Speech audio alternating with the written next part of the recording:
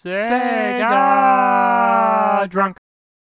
Skies of Arcadia for Sega Dreamcast, and by proxy, Skies of Arcadia Legends for GameCube, is a labor of love. It's a game that's made by people that clearly know what they're doing and clearly love JRPGs. In fact, the dev team here is made up of people that worked on Panzer Dragoon, joined up with some of the original Phantasy Star dev team. And they know well enough not to dither around. Skies of Arcadia starts with a bang, with a snooty, hair flipping commander chasing down a girl until pirates! And not just any pirates, air pirates. No, not those air pirates. From there, you fight some random battles, take down a boss, and you're off on your adventure. Now, the story here is pretty standard stuff. It's typical Rebels vs. Empire, where you play as Vyse, a plucky air pirate who meets Fina, that's the gal who's being chased, and she was sent to the land of Arcadia to collect six moon crystals, which are capable of controlling the legendary Gigas. No, not that Gigas. Vyse and his band of pirates help her after learning the evil Valuan Empire is after the same thing, led by the greedy and mischievous Lord Galcian, who's willing to do anything to further his plans of conquering the world. See, this Gigas thing is a weapon by way of those six moon crystals, one from each of the six civilizations in this game, and if they fall into the wrong hands, well, that's no good, so we gotta track them down. And yeah, all the classic JRPG character archetypes are here, but rather than coming off as tired and derivative, there's a certain spark of life to each of them, and I think a big reason for that is just the settings and environments here. Sure, the story and characters may seem paint by numbers on the surface, but Skies of Arcadia's strongest quality is in how the world is designed. The emphasis here is on discovery. The airship pirate motif is really well done. It is legitimately fun sailing the skies, not knowing what you could run into next because this game is just so packed full of imagination. It's not the same old sword and sorcery fantasy stuff or whatever, and I think that's a big reason why Skies of Arcadia to this day still feels fresh and vital. This is just my opinion, of course, but I think when a game establishes such a fun, unique, and varied atmosphere, as you'll see throughout this game, traveling through the skies to deserts and cities and jungles and such, everything else by proxy just seems more interesting and engaging. It's just less of a leap to suspend disbelief, and it's easier to dive into the game, forget about everything else, and let the hours melt away. I'm reminded of games like Super Metroid and Chrono Trigger in that sense.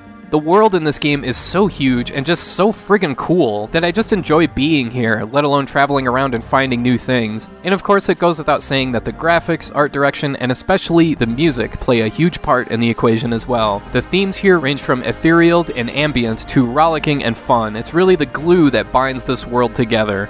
Of course, this is a JRPG, so there's plenty of combat, and in the case of Skies of Arcadia, there's both your typical character party combat as well as ship to ship combat, both being turn based. Starting with the traditional combat, there's up to four characters in your party amongst a host of playable characters, and yep, you guessed it, it's random battles, it's experience points, it's building up to boss fights, and it's the usual elemental stuff you're probably used to if you've played just about any JRPG before. Magic is represented in six colors, being based on the six moons I mentioned earlier, and each color, except for silver, has two tiers regular attacks and status effects. Green is healing magic and poison, red is fire and damage buffs, purple is ice and stuff like mute and confusion. Blue is water and air, as well as speed buffs and debuffs. Yellow is lightning, and power and energy buffs and debuffs. And silver has stuff like revive and insta kill spells. What's nice here is that the game offers you the flexibility to change colors in the middle of battle. Also, before each turn, you'll have a set number of spirit points to use, represented by the bar up top. Sure, the basic stuff like physical attacks and defense and such aren't going to cost anything, but the best spells in the game require spirit points. And yeah, one reason this is here is to prevent you from spamming big attacks, but it's also here to make you plan out your big attacks and build up to them. For instance, there's certain characters with spells that can add spirit points to the meter, so if you want to get the most out of the bigger spells, it's smart to plan ahead because you'll be rewarded. I mean, who doesn't love to be able to drop a friggin' moon from orbit on onto your enemy. That's so badass.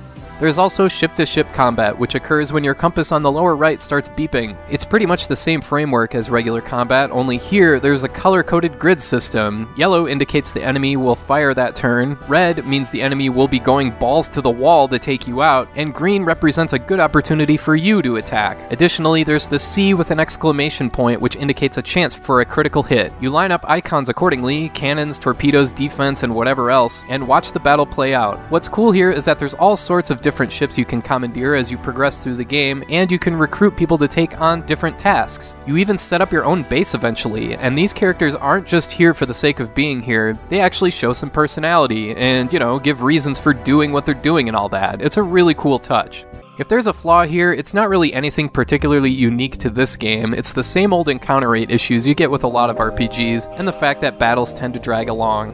That's why, if you play this one today, you're going to want to play Skies of Arcadia Legends for GameCube since they dialed back the random encounters quite a bit. I played this one on Dreamcast because, well, I don't know, that's where I started, and I guess I just got too into it and didn't want to start over. There's other additions and upgrades to the Legends port as well, like new side quests and new stuff you can find.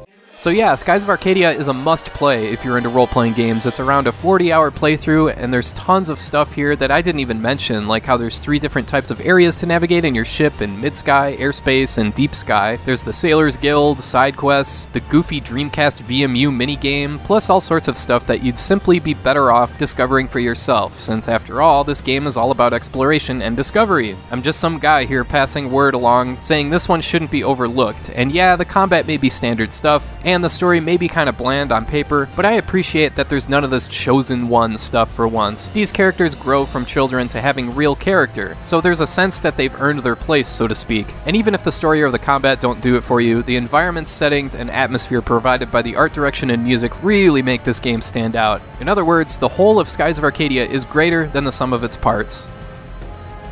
And I want to thank you for watching, and I hope you have a great rest of your day.